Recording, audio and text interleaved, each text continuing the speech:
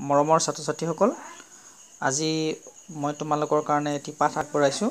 তোমালোকে সুন্দৰভাৱে এইখিনি চাবা আৰু মনত ৰাখিবা আৰু প্ৰয়োজনীয়খিনি বহীত লিখি ল'বা। এতিয়া আমি মই ক'বলৈ ওলাইছোঁ অসমৰ সংস্কৃতিৰ বিষয়ে। ইতিমধ্যে মই আগতে অকণমান সংস্কৃতিৰ বিষয়ে কৈছোঁ। এতিয়া আজিৰ মই তোমালোকক ক'বলৈ খুজিছোঁ যে অসমৰ স্থানীয় ভাষা অসমীয়া। আমি সকলোৱে জানো এই কথাটো। অসমীয়াৰ উপৰিও বিভিন্ন জনজাতীয় ভাষা অসমত প্ৰচলিত হৈ আছে। ইয়াৰ ভিতৰৰ উপৰিও হিন্দী বাংলা নেপালী আদি ভাষাও আমাৰ অসমত প্ৰচলন হয় আৰু এই বিভিন্ন ভাষা ভাষী লোকেৰে আমাৰ অসমখন অসমীয়া জাতিটো গঠন হৈছে আৰু সকলোৰে মাজত আমাৰ একতাটো বিৰাজমান হৈ আছে। এই কথাটো তোমালোকে মনত ৰাখিবা। এইবাৰ মই তোমালোকক ক'ব বিচাৰিছোঁ অসমৰ বিভিন্ন জনজাতিবোৰৰ সাজ পোছাক সম্পৰ্কে। আমি জানো যে অসমীয়া মানুহৰ প্ৰধান সাজ পোছাক হৈছে মহিলাসকলে মেখেলা চাদৰ পিন্ধে ৰিহা পিন্ধে আৰু পুৰুষসকলে ধুতি চেলেং চাদৰ এইবিলাক পিন্ধে। ইয়াৰ উপৰিও বিভিন্ন জনজাতিবিলাকে বিভিন্ন ধৰণৰ পোছাক পৰিধান কৰে। বড়ো মহিলাসকলে দখনা পুৰুষসকলে গামোচা আৰনাই মিচিং মহিলাসকলে এগেগাছৰ ৰিবি গাচেং পুৰুষসকলে মিবু গালেক গঞ্চা উগান টঙালী তিৱাসকলে তিৱা মহিলাসকলে চচকাই ফাচকাই আৰু পুৰুষসকলে থানা ব্যৱহাৰ কৰে। ইয়াৰ উপৰিও ডিমাছাসকলে ব্যৱহাৰ কৰা মূল পোছাকসমূহ হৈছে মহিলাসকলে কৰে ৰিগু ৰিজমফাই ৰিখাউচা জিচু পুৰুষসকলে ৰিচা ৰিমচাও গাউনথাও পাগবি কাৰ্বিসকলে পিন্ধা কাপোৰ হ'ল মহিলাসকলে পিনি পেকক ৱামকক চেলেং আৰু পুৰুষসকলে পিন্ধে চইংহংথৰ চেলেং আৰু পহ। এই ধৰণৰ ড্ৰেছসমূহ তেওঁলোকে পিন্ধে। গতিকে তোমালোকে মনত ৰাখিবা। অসমীয়া আ অলংকাৰৰ বিষয়ে ক'বলৈ গৈছোঁ। অসমীয়া মহিলাসকলে বিভিন্ন ধৰণৰ অলংকাৰ পৰিধান কৰে আৰু এই অলংকাৰসমূহে অসমীয়া মহিলাসকলক সুন্দৰ দেখায়। বিভিন্ন আৰ্হিত প্ৰস্তুত কৰা এই অলংকাৰসমূহ দেখাত অতি মনোমোহা এইবিলাকে মহিলাসকলৰ সৌন্দৰ্য বৃদ্ধি কৰে।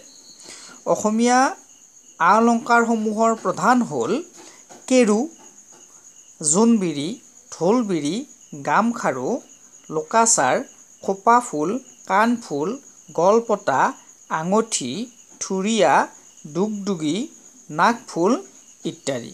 গতিকে এই অলংকাৰসমূহৰ কথা তোমালোকে মনত ৰাখিবা।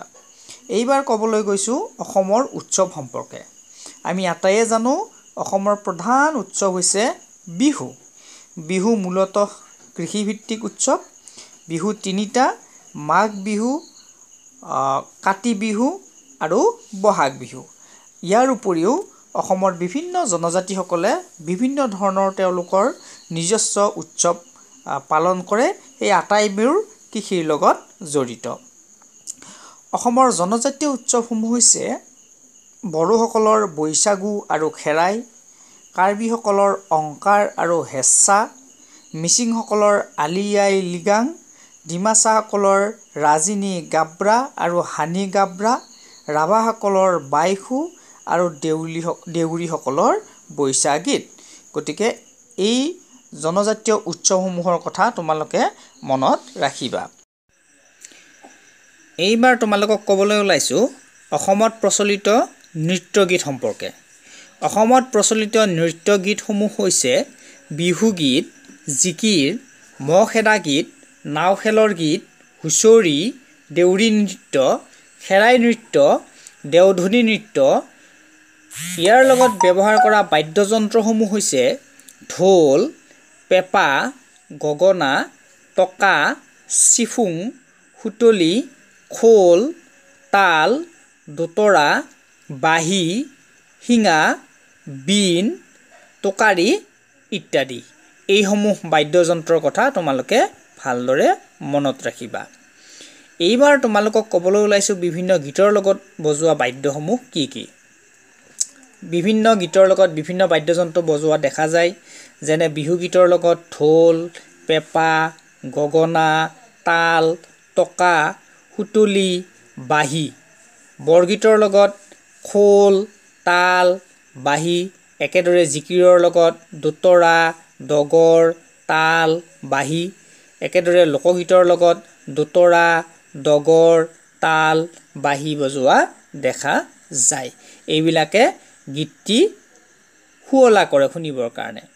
আন দুবিধ নৃত্য হৈছে পুতলা নাচ আৰু ওজাপালি। পুতলা নাচৰ সহায়ত ৰামায়ণ আৰু মহাভাৰতৰ কাহিনীসমূহ ৰূপায়ণ কৰা হয়।